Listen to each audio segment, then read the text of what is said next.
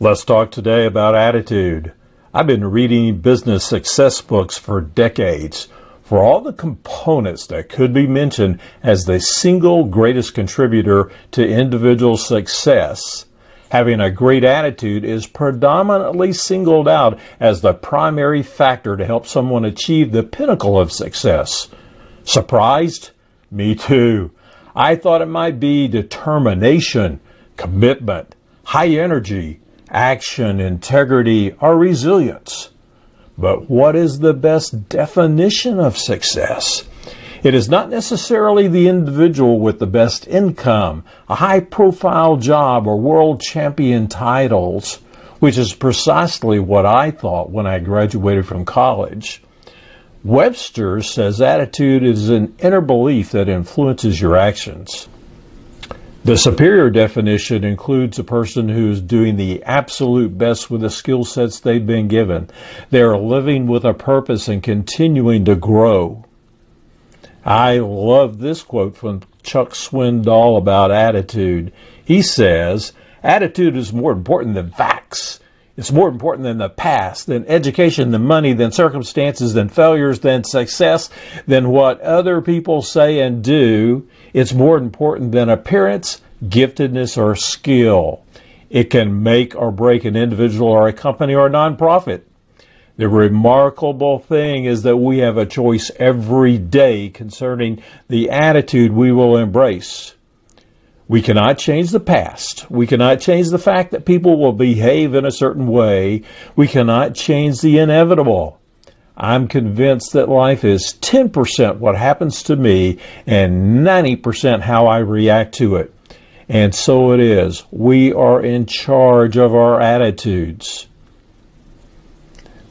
If we ask a thousand people to define success in 10 words or less, we would probably get at least 500 individual definitions. Now, for the sake of simplicity and time constraints, let's divide that concept into two categories.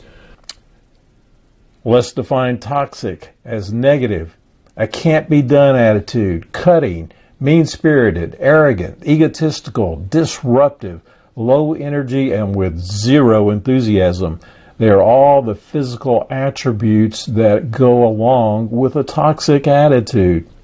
However, positive is someone who has a smile on their face. They're friendly. They're accepting. It, they have a can do perspective. They're energetic, creative, mature. They accept responsibility and deliver with integrity. Now, the good news is that we can all change.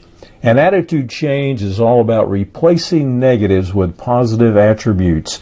If you have an attitude that you perceive as negative, Here's how to replace it. Number one, isolate that attitude in your mind. In other words, identify it. Meditate and learn about a replacement thought.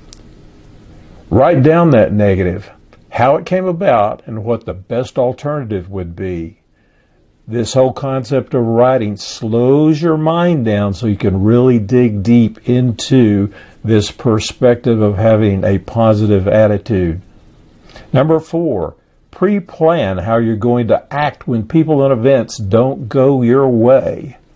And then number five, put your plans into action every day, realizing that repetition drives an energy and it drives a memory and it creates that concept that I can be positive despite negative circumstances. Now, in summation, Let's go back and look at Chuck Swindoll's quote when he said, We all have a choice. Go out and make it a positive choice for you today and see how you react to the world.